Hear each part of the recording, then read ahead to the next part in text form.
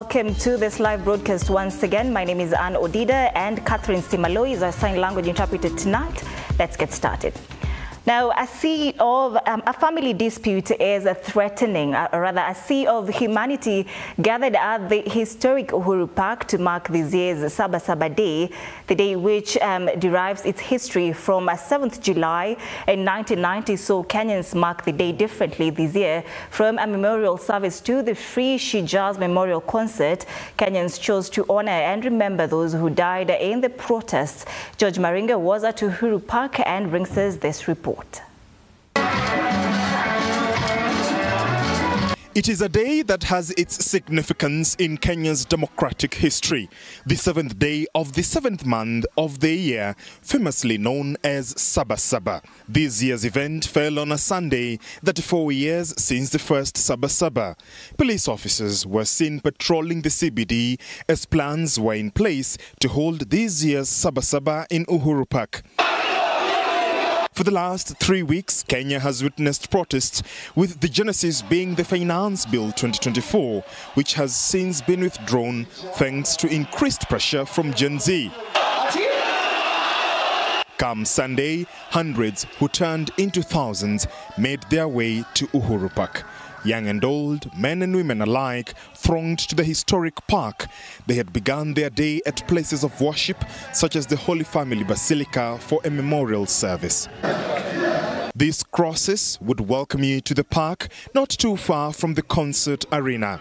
The crosses bore the names of the victims who perished during the protests, as well as those still missing.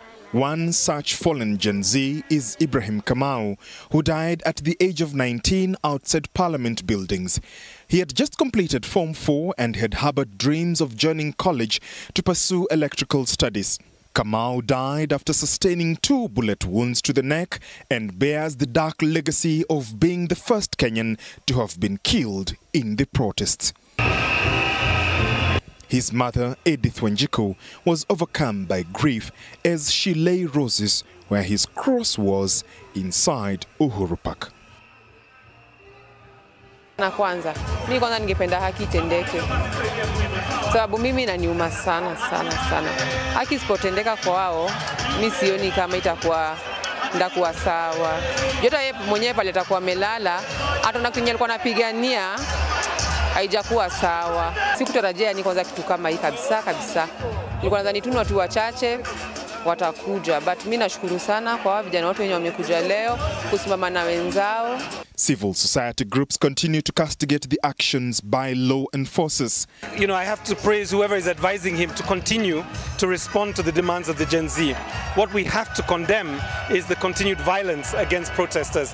This country requires a complete overhaul.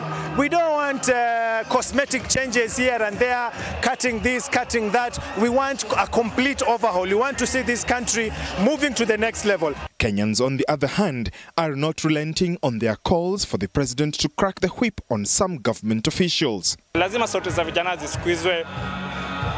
Kijana ni kama ule mtoto anakonga kwa nyumba ule anakwambianga nibaye tamu, unashindwa. The more unamuigno, the more anaongeza sauti. Bila sisi we si mtu, bila, wara, bila raia we si mtu, umeelewa? Na watoto umeweka kwa kiti wana misuse the funds, alafu au community wote aondoe wote, and then wale wenye amesema ukishafikisha alafu ukishafika ukishafikisha miaka 60 toka kwa serikali. The concert was free and some of the country's top artists also performed free of charge. One such artist is Sanai Sanaipei Tande. Um, but then on waking up this morning, my older brother was just like, Sana, you have to stand in solidarity with people. Tukienda kukiumana, kumeumana, tuko wote. You get what I mean? So he convinced me, actually told me, you have, you have to stand with the people. So that's the reason why we are here. We are, you know, we say we are tribeless, we are partyless, we are together in this thing. So this was my way of showing that I'm, I'm together with, uh, with everyone. The bereaved families who delivered tributes continue to await a meaningful response from the government. Mi ningesema haki itendeke na wasituone ati tumenyamaza, ati pia sisi tutakuja tu maandamano, wanaitabidi itabidi sisi wote mpaka na wazazi wao. Whereas a good number of today's attendees were not present at the first ever Sabasaba Day, today they continue to shape and reshape their political and civic history in the spirit of those that blazed a way before them. And once again, Uhuru Park has hosted another historic moment, even as this monumental crowd insists that their voices must be heard. George Maringa, TV 47 at Uhuru Park.